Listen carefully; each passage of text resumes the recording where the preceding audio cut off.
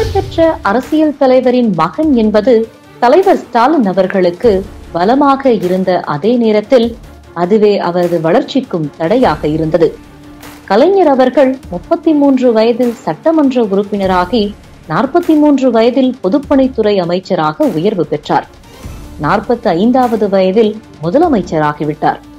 ஆனால் பதினான்கு வயதில் திமுக மாணவர் அணியில் பங்கேற்று செயல்பட தொடங்கிய தலைவர் ஸ்டாலின் அவர்களுக்கு கலைஞரின் மகன் என்பதற்காக எந்த சிறப்பு சலுகையும் கிடைக்கவில்லை. அவருடன் இணைந்து செயல்பட்ட பலரும் அடுத்தடுத்து எம்எல்ஏக்களாக எம்பிக்களாக அமைச்சர்களாக உயர்வு பெற்ற நிலையில் தனது முப்பத்தி ஆறாவது வயதில்தான் தலைவர் ஸ்டாலின் அவர்களால் சட்டமன்ற உறுப்பினராக முடிந்தது. தலைவர் ஸ்டாலின் அவர்கள் முதன் முதலில் சட்டமன்றத்திற்குள் நுழைந்த போது அமைச்சர் ஆவார் என்று எதிர்பார்க்கப்பட்டது. அதற்கேற்றாற்போல் அவரது ஜூனியர்கள் பலரும் அமைச்சரானார்கள். ஆனால் தலைவர் ஸ்டாலின் மட்டும் அமைச்சராகவில்லை. அமைச்சராகும் தகுதி ஸ்டாலினுக்கு இருந்தாலும் தன்னுடைய மகன் என்பதற்காக அந்த தகுதியை இழக்கிறார் என்று விளக்கமளித்தார் கலைஞர்.